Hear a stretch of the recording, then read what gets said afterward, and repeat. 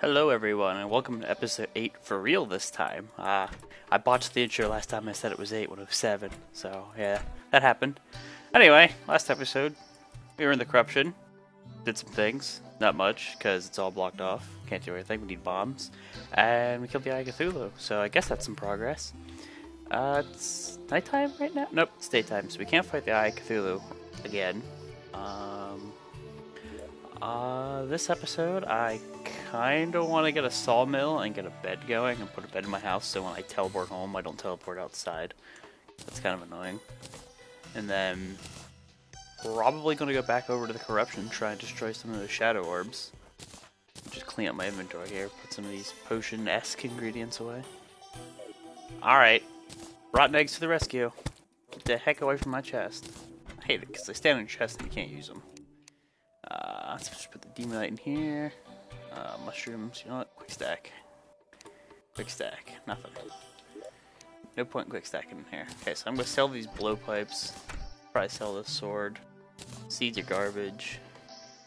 Uh, corrupt seeds are garbage. I'm gonna keep these rotten chunks because we can use it to summon the Eater of Worlds later, if we need to. Uh, 47 silver, I'll take it. 20 silver, I'll take it. 20 silver. Let's just hold on to these chests. Never know when you're gonna need them. Demonite ore. Okay, okay, okay. Get off my chest. This is this isn't even funny anymore. Get out of the damn house. Ugh, it's so annoying. Bombs. Mm, we need a demolitionist before we can go blow things up. So I forget how to make the sawmill, but I think it has something to do with iron bars and chains and then wood. So what I can do is just make some chains, because someone need some later anyway, and go over here and talk to the the guide. The guide, you give him an item and he'll show you what you can do with that item. So, chain, boom. Every recipe involving chains. So right there, the sawmill. Heart can, heart lantern. That's a new item. The game just got patched a couple days ago. Uh, sawmill. See, iron, two iron bars. Yeah. So, heck, we can go make it now. At a crafting table. Hey, pick you up. First off, we need more wood. And I got this last episode, didn't even notice. It's just a melee weapon. it's a zombie arm, but it's pretty bad. Don't need it. And we also got Light's Bane, which we're going to need to make Knight's Edge, and then True Knight's Edge. And then the last sword is the Terra Blade. And that'll be a while. I'm sorry, Squirrel. You were in the way of my trees. It, it kind of had to happen. It's unavoidable. That's the word I'm looking for. Alright, so we're getting some trees, some wood, we're gonna make a sawmill, then we're gonna make a loom, and we're gonna take our spider silk and turn spider silk into spider silk. What am I talking about? Spider webs into silk and make a bed. Simple. Crafting bench. Do I not? Oh, I do have one in here. It's pumpkin. Duh. Okay, sawmill. There you are. Do I have enough room in here for you? I do. Okay. Now I can't open my door unless I face out, but I'll live. So a loom, loom, loom, loom. Cool. Dryad. That's right. See, we killed the Eye so we have the Dryad. She spawns whenever you kill a boss for the first time. So you know what? I'm just going to put the sawmill up here to avoid some problems. I'm going to put the sawmill up here to avoid some problems. Alright. Actually, let's get our spider silk first. Where'd I put it? Hopefully we have enough. Uh, I thought I had more somewhere. Nope. That sucks. Hopefully we have enough. I don't know. I don't remember. It's, it's like six silk to make a bed. Come on! Be enough! And be at the sawmill and bed, bed, bed. Yes! Alright. So we can do with this is our house isn't big enough to use it. Okay, you know what? I don't even care. I'll put my house or my bed in here. So I'm gonna move this chair right there. Bed, bed, bed, bed. Boom. And now if we right click it, spawn point set. So when we teleport, boom. Next time when we log in, close the game, we'll go there. Cool beans. Get out of here, bunny. Uh, yeah, I made the sawmill. I'm actually gonna have to make another NPC house or two because the Dryad moved in. Stupid, stupid Dryad. Ruined everything. But we need demolitionists because we're gonna need more bombs to blow our way into the corruption. So that's unavoidable. Let's get some wood. Don't take that the wrong way. But yes, we need we need trees. Lots and lots of trees. unfortunately. They're all broken down over here. None of these acorns are growing. So I'm to plant as many as I can. While running over to the right here, because I know there's trees. And start chopping them down. Alright, climb the rope. There's some date. We'll use those later. Eventually I'm going to make all kinds of farms, uh, potion farms, and we're going to spelunker potions out the wazoo. And it'll be really easy to find ores and chests and stuff, which is awesome. So anyway, my plans, I want to get Demonite armor, some Demonite weaponry. And once we do, we're probably going to go to the jungle, and the jungle usually has a bunch of chests for us. I, I, I need a hook before I go, really. So we need to kill skeletons. Or find enough gems to make one. Which, I don't know which is going to come first. But once we get in the jungle, there's going to be a lot of loot chests, and that'll be helpful. Hopefully find some cloud bottles and all that stuff. I could go to the floating islands, because you don't need to go to the dungeon anymore to do that. You don't need golden keys. Uh, we went cloud, cl what is it, uh, shiny red balloon, lucky horseshoe. Higher jumps and no fall damage, those are pretty important to me. I like maneuverability items, big time. I like being able to fly dang near all the way across the large map really handy, especially for boss fights. So, getting some wood, we're gonna start making some NPC houses, and hopefully the demolitionist come back, comes back, because we need him to get in the corruption. Well, get to the orbs. So, it's all up to him. He needs to get his, his button gear. You know what? I should probably spam acorns here. I, uh, I think I got saplings. Yeah, I think if they're too close, they won't grow. I could be wrong. Don't quote me quote me. Okay. See if there's any more easy to get to trees over here. Big ones. Ah, they're small. Map. Yeah. We could go explore the, uh, the, uh, the snow biome. Why don't we do that? Get some trees over there. Maybe there's some bigger ones. Alright, there's there's a few. Because we haven't been over here yet, might as well explore the surface a little bit. Be new monsters over here and everything. And we eventually need to hit up the caves in this biome because we're going to need a blizzard in a bottle to get a blizzard in a balloon and eventually, what is it? A bundle of balloons. Basically, we get all kinds of jumping effects in one accessory, which is really handy. Like I said, I love maneuverability items. So, just getting some wood. Alright. Clear down some acorns. It's always a pain in the butt we don't have trees, so you might as well place some acorns here and there. Uh, let's bring up our map. Keep forgetting to bring that back. Tab lets you toggle your map, by the way. So, don't forget that. That might be the cave. There's usually a easy to get to cave in the snow biome. Hmm, maybe it isn't. And we can jump up walls. We are a ninja, so that's handy. See, we can just jump up here. Yeah. Or not. I'm not that much of a ninja. That's a penguin. It's a dead penguin. Sorry. And these trees are not really that big. I could go chop down that living tree, but that would take forever. I think this is faster. It's the same wood anyway, so no difference. That might be a cave. Uh, maybe not. Looks pretty small. How much wood do we got? 243. That's probably enough to make good good few houses. So you know what? Boom. Now that we teleport back to our house, makes things faster. Okay. So let's put our wood in our hotbar. One of these acorns on our hotbar actually. There's the dryad down there at the bottom right. She will sell us. Actually, you know what? If she sells us purification powder, we don't even need bombs. Now that I think about it. Let me, see if she sells it. She should. I'll think it's too expensive? Yeah, alright. You know what? We don't even need bombs. pox on you, demolitionist man. what we can do is turn that ebonstone into regular stone, and we can mine that stone. So we can get into the corruption no problem now. So, alright, I think that's the new plan. But first off, let's just get a few houses going. Never hurt anybody. Alright. Just getting the outline. Let's do two. Pretty boring building NPC houses because they're the same copy-paste. What you can do. I mean, sure, you can make it look fancy, but I'm probably going to destroy this eventually and then make a fancy one later. So no point in going all out on these. To need four doors, two chairs, and two workbenches. Oh yeah, and don't forget walls. Walls are important. I think I threw away both walls. Oh well. That should be more than enough. Alright.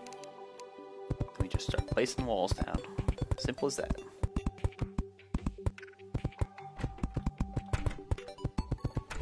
Stupid nurse. You could be you could be the demolitionist. You're so useless. All she does is heal you for money, which usually if I'm hurt enough to require a heal, I either end up dying or running away like a little girl. so yeah. You can use her like strategically, like fight a boss over to the left or the right, teleport back to her and heal up. But that's too much of a pain in the ass for me, so I usually don't do that. Okay. Torches. Uh, workbench. That's sort of symmetrical. I don't even care. Okay. And then do this. And then afterwards we'll check just to make sure it's considered NPC housing, because you never know. You might have missed something. Might be a wall missing, something stupid. It happens. Uh, housing. Suitable, suitable. So now hopefully the demolitions will move in, because bombs are fun to have. But anyway, we have corruption powder. Or purification powder, dude. And we're gonna need our building blocks. Uh, yeah. Why don't we go over there. I don't even think we're ready for that boss fight yet. We should probably set up a little arena just because he's a very long segmented enemy and he kind of runs through the walls. And look, there's Demolitionist. Anyway, and basically you, you have to like let him pass and go under him or above him and then just keep doing damage, rinse and repeat. Shurikens will help because they'll pierce him. Uh, if, if we can use our sword, that'll speed up the damage a lot too. Use like your damage, or use like the arc of your sword as he passes you to really mess him up. Pretty handy. We're gonna go see what happens. If we kill him, we will get a lot of money, shadow scales, demonite ore, and when we break these shadow orbs, by the way, we can get a musket, which is great, great range weapon early on. And yeah, the goal is definitely shadow scale armor. So, let's, let's see what we can do. Probably gonna die. Whatever. Sometimes these living trees can have like a bottom portion already pre-built and there'll be loot down there. Fortunately ours does not, so we might have to create a new world. It's all you ever really get is a wand that lets you place that specific type of wood, but it's cool to have, and you can also get a, a leaf wand or something, so it turns, I think it turns wood into leaves, I'm not sure. But it's basically these leaves you see here. Actually, no, my bad. It's the leaves you see on the tree itself, so that kind of, that kind of leaves. Duh. Don't listen to me. Sometimes I lie. It's not a purpose, usually. Like that one time I said episode 8. By that one time I mean last episode. I lied. Alright, go away. Go away. I'm here to get awesome armor. And then kill you. Just let me do it. Okay. So, uh, yes, this was the one where we have to go down. Painter. Alright, that's a new NPC. Never really used it much. I think you can just paint blocks. Oh crap. Probably should make a demonite bow, but if we get a weapon, by weapon I mean a gun, we won't need it. Okay. So let's light this up. That heart crystal. So purification powder, please work. Oh yeah. So now what we can do is tunnel this, and the corruption will respread. At least it does in hard mode. I don't remember if it does in normal mode, which is what we're in now. And it'll overtake those stone blocks again. But as long as we have it broken down enough that we can walk through, we're good. Keep some torches down. And you don't want to hit those with a hammer. They will almost kill you, if not kill you. You have to hit them with a Pwnhammer or greater, so you have to wait till it's hard mode. Yeah, 240 health. Okay, so we're gonna look for the easiest to get to orbs, because I didn't even buy much powder. I think we should be good. Should be careful. Kill this goldfish. Taste my Light's Bane. yeah, there's a chest over here, so you know what? Ah! That's where we're going. Can I fit through here? No. Look at the boulder trap. It didn't get corrupted because it's active stones and not technically stone. That's funny. It's not obvious. Nope. Not at all. Alright, cool. Can fit through here. These are all demonite altars you're seeing. Or demonite altars. Demon altars. We break those later, and when we do in hard mode, they create hard mode ore throughout the world. So, you have to wait till hard mode. We'll get there. 260 health. Alright. Please be something good. Please be a cloud the bottle. Ah, it's another magic mirror, damn it. Don't need that. Regen potion will actually help us during this boss fight. And now that I think about it, I should have brought some potions, just just in case. By potions I mean buff potions, I have healing potions. So, let's look for easy to get to shadow orbs. I'm thinking that one's priority uno. Numero uno. Alright, so I think throwing it diagonally be best. And let's just dig over here. Hopefully we can get here before we start drowning. Probably not. Have to rope our way out. Actually, maybe we can just climb our way out. We're ninjas. Yeah, we're ninjas. Got this. Keep it lit up as best as I can. We're gonna have to use two powders things. Just to make sure we get it. Ah, crap, there goes our torch. Forgot. Water bed. Okay. Spam flares. Grab some air. Okay. Now, we have to break this with a hammer. Musket and musket balls. Alright.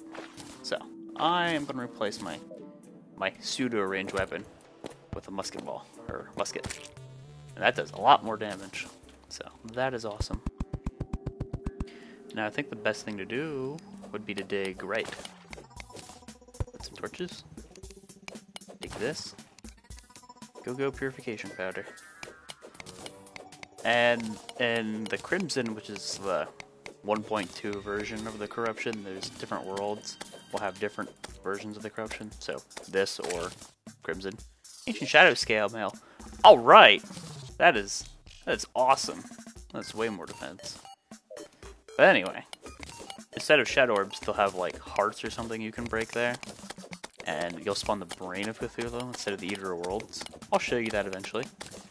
Probably pretty soon, actually, soon as I do this and I get Shadow Scale. Basically make him easy. We will see.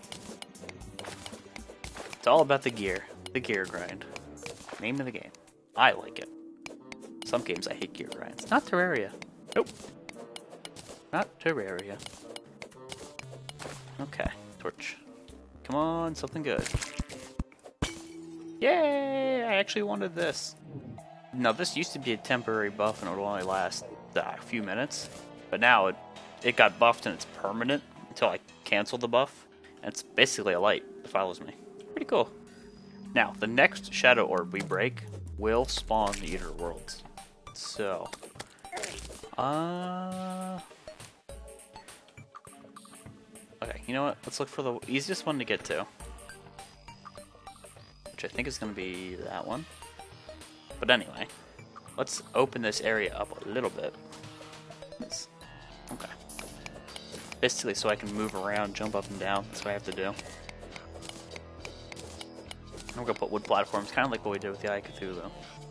But first, let's just use all the purification powder we need to get to this orb, and then the rest to destroy some of the Ebonstone, so we can uh, build our little pseudo arena, if you will.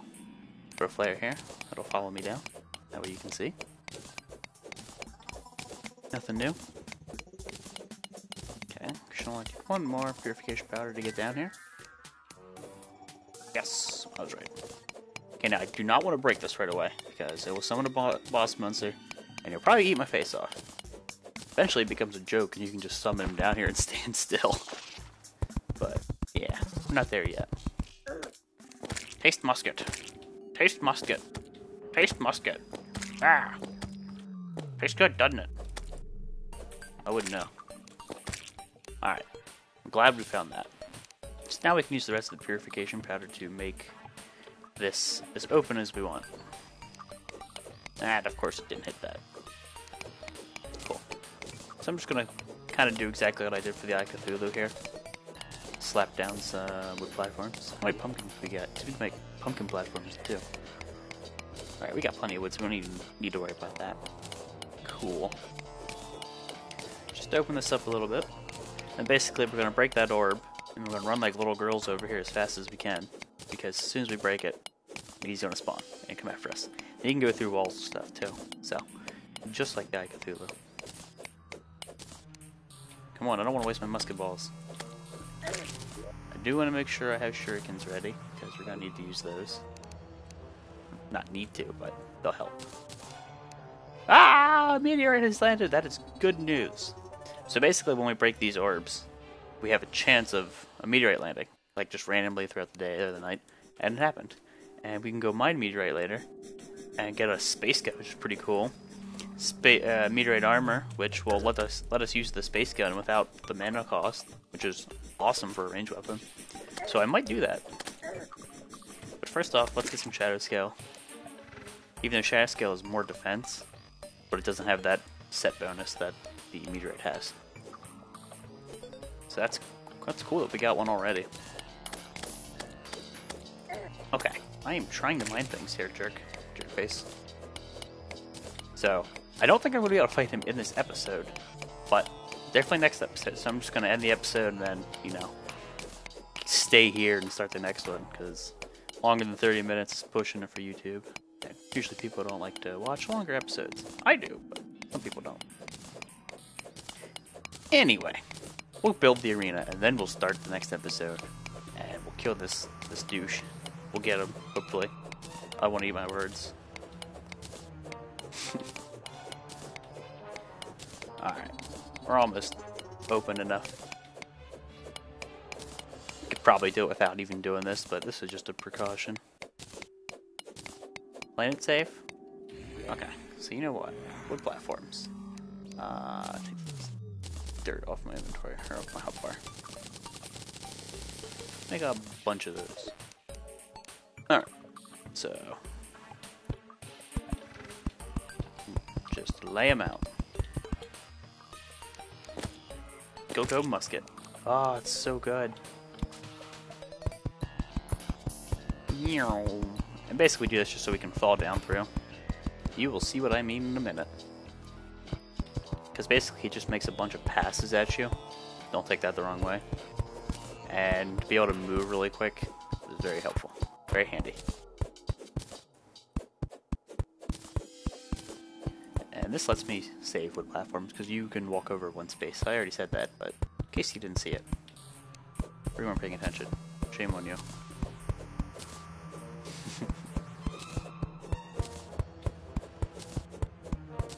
okay, look at all those piranhas and jellyfish. Holy. And I can't wait to go explore the jungle because we will find lots of gold chests there, usually. That'll be fun. And the queen bee, that's a new boss. That'll be cool. Wouldn't mind the bee gun early on. It's really good early, early game. That's what I had on my, my multiplayer, you know, playing with my buddies kind of thing. I was using that. It's really fun. I think this is plenty good. So, this was episode 8 for real. Thanks for watching. See you next episode. We are going to kill the Underworlds. See ya!